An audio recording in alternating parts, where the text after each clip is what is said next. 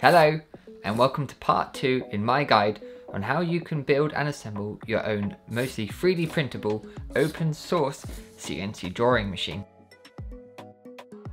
In this video I'll go over the software and settings used on the Arduino Uno to run the machine as well as a short demonstration on how you can create your own G-code for your own machine.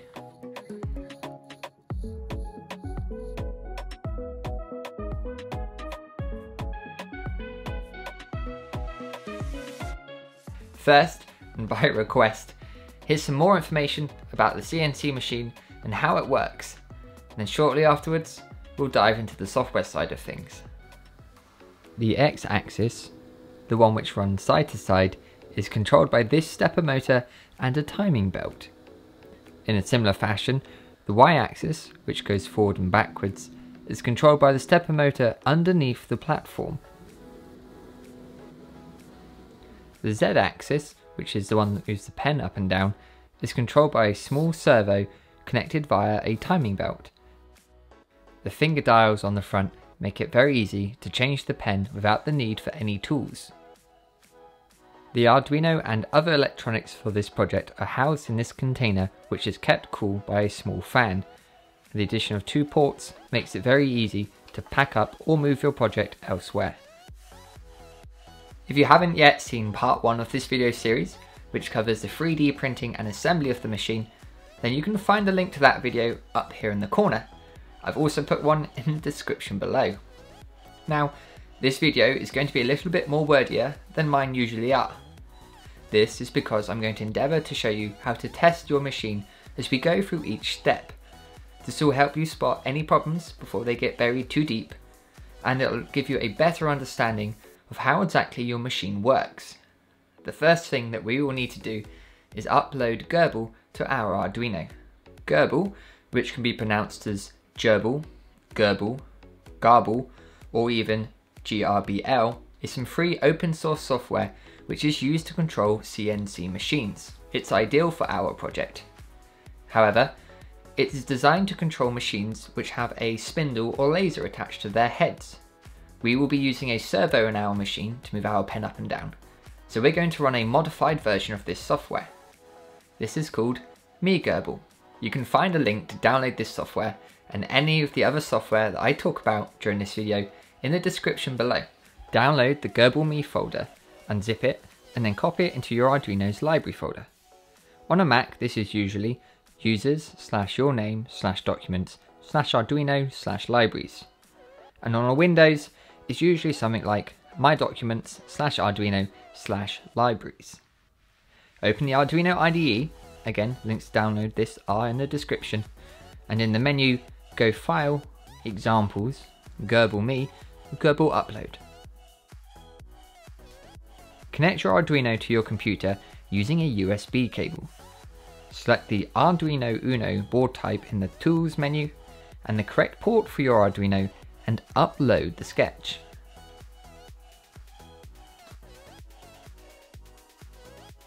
Once the upload is complete, you can open the serial monitor and set the baud rate to 115200. Sending two dollar signs should return Gerbil's current settings. To begin with, we will upload a set of configuration settings for the design as I have built here and have shown you in the first video. We will use this to check that the motors work properly and that our limit switches are responding as they should as well. I have put a link down in the description to where you can get a copy of these configuration files. Copy and paste the settings line by line into the Arduino serial monitor and they will automatically apply themselves to your Garble installation. You can verify this by sending the double dollar signs again to see the current configuration which should be different to what we saw earlier. As a quick side note, the configuration for Gerbil is saved to some non-volatile memory on board our Arduino. This means that it will be remembered when we power off our Arduino and power it back on later. So don't worry about trying to reload your configuration every time you switch your machine on again. Before we begin testing the hardware, Gently and slowly manually move the CNC machine so that the head is roughly in the center of the expected working area. As we have some homing switches configured on our CNC machine, when we first switch it on, it will start up in an alarm state. This is because it cannot be sure at the moment where its head is in relation to the rest of the machine. To resolve this, we will trigger a homing sequence which will move both the X and Y axes to their very ends until they make contact with the limit switches. These two switches are located here and here. We will issue the homing command to our Arduino in a moment, and what we want to see happen is the axis to move all the way to the left and all the way to the bottom left corner of our drawing area until it engages those two contact switches. At this point, it will perform a small bounce on the two contact switches to improve its accuracy, and then we will read OK in the serial monitor. Be prepared to disconnect the power if your machine does anything other than this. If it does, recommend going back to the part 1 video and checking your work, paying attention to the electronic connections so far. You can also take a look at my website for some FAQs on this project's page to fix some of the most common faults you might come across. If it has worked just fine though, we'll move on to testing the servo's ability to move the pen up and down in its slider. To do this, issue the command M3S90 followed by M5. The servo should pull on the timing belt and raise the slider when M3S90 is issued. This should have lifted the pen slider upwards very near to the end of its travel, and our servo should not be continually straining to try and pull it any further. If it is, refit the timing belt inside the 3D printed arm on our servo, giving it a little bit more slack.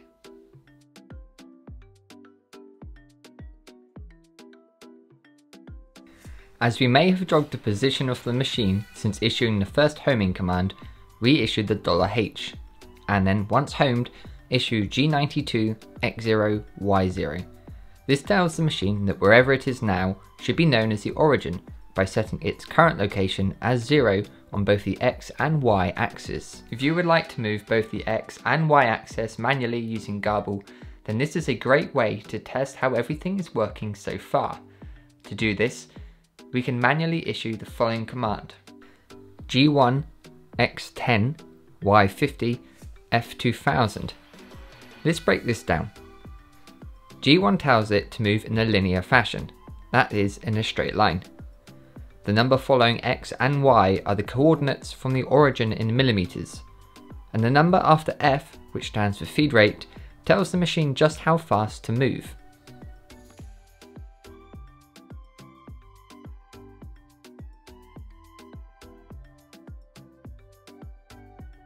Now that we know that's working fine, we can set our computer up to automatically feed our Arduino G-code lines so that it's able to draw a much more detailed drawing than we could by issuing commands ourselves. The G-code sender which we will use is a web application called ChiliPeppr. Head on over to its website chilipeppr.com slash Gerbil. I'd recommend using Google Chrome for this. The first thing which we will need to do for ChiliPeppr is install a JSON server onto your computer. This is just a small program which helps your web browser connect to your Arduino via the USB port. To do this, follow the download serial port JSON server link in the lower right and download and install the correct version for your operating system. Ensure your Arduino is plugged into your PC before starting the program. Go back to the ChiliPeppr window. Reload the serial port list with this button and you should now see your Arduino. Select Garble from the drop down list and check that the serial speed is at 115200 and then check the box to its left to select it as an output. Drop open the axis window if it's not already expanded and press home axis to check that it is correctly connected and then press 0 out to reset the coordinates. The home axis button issues the same $H command that we used earlier to start the homing sequence on our Gerbil machine. The zero out button also uses the same G92X0Y0 command that we also used earlier. Before we add pen and paper to our machine, it would be a good idea to do a dry run first. To load the G-code file, diym-test.gcode, which is linked to in the description below, just drag and drop the file onto the center preview area of ChiliPeppr. Then press the play button on the left hand side to begin streaming these instructions over to your Arduino.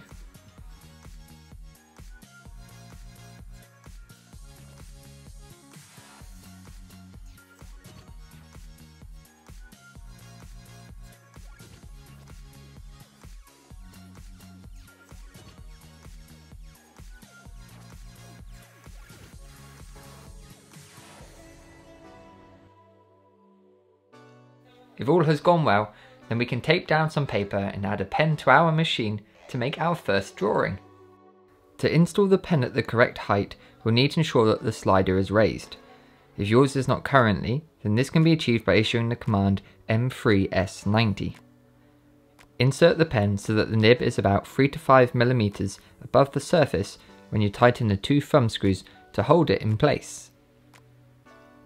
Home and zero out the axis again just in case we jog the arm, and then press play.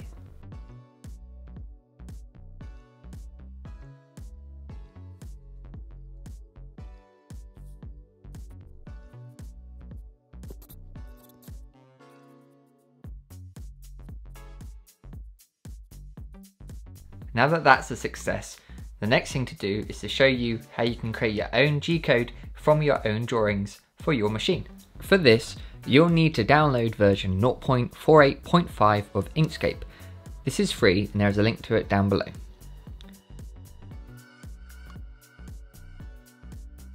After you have finished downloading and installing it, we can then add an extension to it called MeGarble to help turn our drawings into G-code which our machine understands.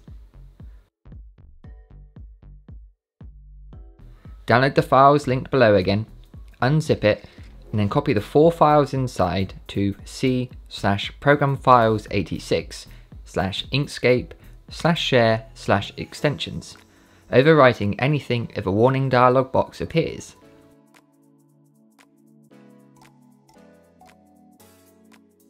We can start Inkscape and set the size of our drawing area by going to File, Document Properties. Set the default units to millimeters and in the custom size, set the units to millimeters again, and then enter a width of 225 and height of 250. A good first drawing to show the basics would be to draw a box about the size of our working area and use a sharpie to mark this out onto the baseboard for reference in the future. Click the box tool and draw a box just slightly smaller than the entire drawing area. Change the fill color to nothing by left clicking here and hold down shift and click black to set the stroke color of the border. In my experience, a Sharpie fine line draws a line about 0.8mm thick, so we'll also set that so that we can see a better representation of the drawing on our screen. To do that, open the stroke and fill window by clicking this icon or pressing Shift Ctrl F on your keyboard. Click Stroke Style and enter 0.8mm. Only strokes get converted into G-code for our machine to draw with this plugin. So we need to select the box and then go to Path, Object to Path. To export this as G-code, we simply click Extensions and MeGerbil Z-axis servo controller. For your first time, we will need to change a few of the values as shown. Servo up to M5, servo down to M3 x-axis speed 10,000, y-axis speed 4,000, angle for servo to 90, a delay of 0.2. This is the path to where you want to save the encoded file. And this, well, it's the file name. We can then home our axis on ChiliPeppr zero out the coordinates, drag and drop the G code onto the main ChiliPeppr window, and then press play to do a dry run first.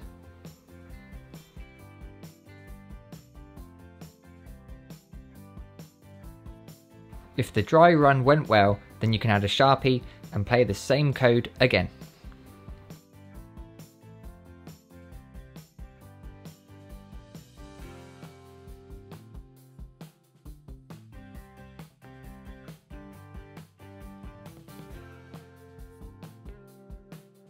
Now we have the boundaries of our CNC machine clearly marked out for us. To create a block of colour in these drawings, in Inkscape I created a pattern of lines spaced closely together. This is how I created the blocks of colour used in my Avengers character. You can now go ahead and experiment with some different types of mediums. As some examples, here's some Sharpie pens on some paper, the same Sharpie pens on the back of a white silicone iPhone case, and some edible ink pens onto a sheet of icing.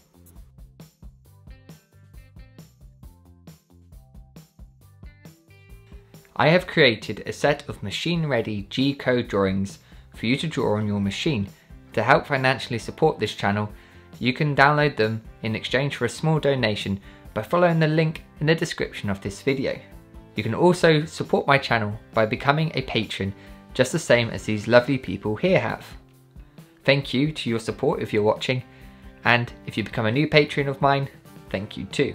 If you have any problems with your machine, please don't forget to check my website where you'll find an FAQ section with some answers to the most common problems. If you know anybody else who might be interested in building one of these for themselves, please go ahead and share this project with them. Otherwise, until next time, ciao for now.